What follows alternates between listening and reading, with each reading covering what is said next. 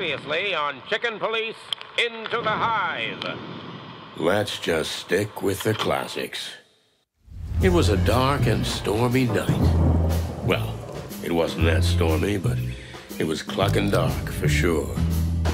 I woke up from a horrible dream among boxes that had my whole life in them. I was ready for the big journey around the wilderness. But a mysterious woman in a hood came to ruin everything. Sound familiar? And she came straight from the hive, fellas, with a case that looked like straight suicide. Did I take it? Cluck, yes, because that's me, the perfect schmuck. Now, all I had to do was get Marty, my partner, to back me up. But he strangely refused to pick up the phone. Wonder what could have happened to him.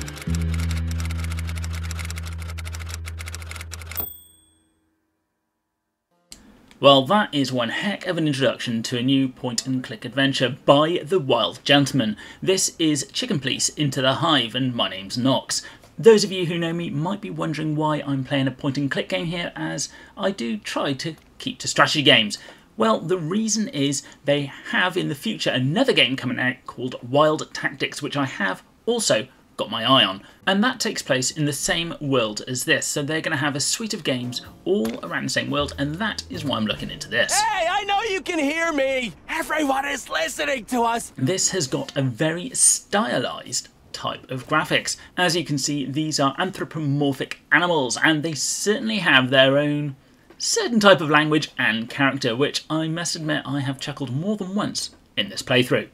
Here you are playing the chicken police Sonny, who's trying to get his best pal and partner in, well, the police, on the job to start looking into something that we saw at the very beginning of this video. And unfortunately for Marty, it looks like he's been chucked out of his house. But what happens there, I certainly hope we find out in the full game. But we're going to have to leave it here and fast forward when we actually get him recruited and back to the police station. Right now, we need paperwork to enter the hive. Yeah, sure. Wait, what? At the police station, we inform Marty that we need to go to a place called the Hive, and I'm guessing this isn't the best area of town to go to if you're a policeman, or possibly if you're anyone at all. One thing I would like to say is the voice acting in this is incredible. Considering we don't have any of the facial expressions that we're normally used to, you can still get a hint of how these characters are feeling through the voices and, of course, the, well, acting on screen. Blood boil? Uh, you know the dog that barks doesn't bite. Yeah, right. Just sends you on unpaid leave. Well, well. If it isn't the chicken police in the flesh. The hens that lay the golden eggs, huh? And here we have Moses and Plato. They seem to have some kind of history with Marty and Sonny, but not one that I'm familiar with.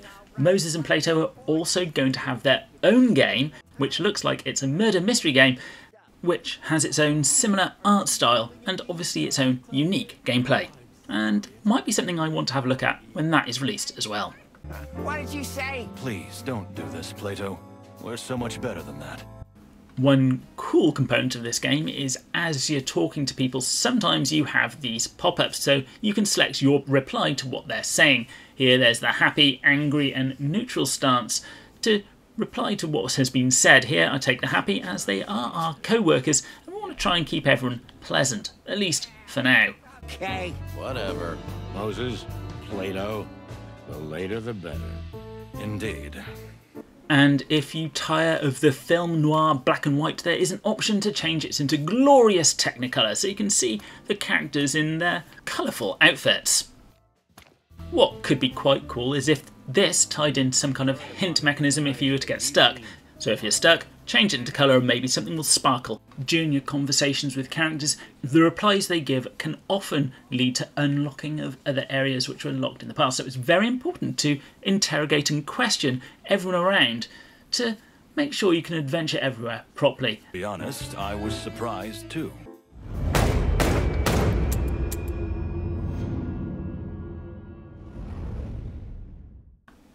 These little cutscenes and hearing the internal monologue of Marty as he introduces new areas and new characters are a fantastic touch and really draw you into the game.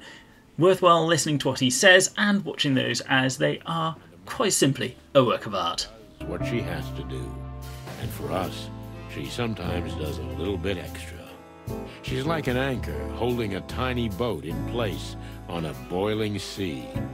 So it genuinely surprises us to find her upset. Something must have happened. After talking to Monica, we find out we need a permit to go into the hive, and unfortunately, we need Plato and Moses to also sign it. Which, quite frankly, they do quite easily. However, we're now in their debt. And don't forget, you're in our debt. Yeah, okay. So I'm sure that's not going to come and bite us later on in the game. Oh, bye, fellas. Okay, so what exactly are we talking about? I get that we're snooping around the hive, but what about Frank? And where does Mick come into it? Just relax. We'll go up to my place and I'll show you. That's what she said. Ah, stop clucking around. This is big.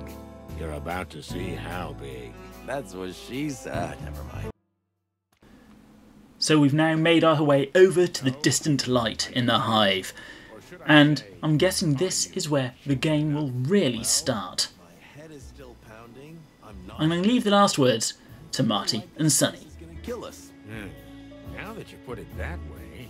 Come on, old bird. It'll be fun. Maybe the adventure of a lifetime. And besides, you started the whole thing, didn't you? True enough. Okay, Marty. Let's cluck and do this. This whole madness started with this petty little affair. Huh. Petty to the one who reads it in the paper. Less petty to the one who's getting shot. Clawville, the city of opportunity, the city of dreams, a bastion of tolerance and equality, a genuine shithole. You know, truth is a weird dame. No matter how loyal you are to her, she'll cheat on you in the end. The question is, are you gonna stay by her side? And if you do, what price are you willing to pay?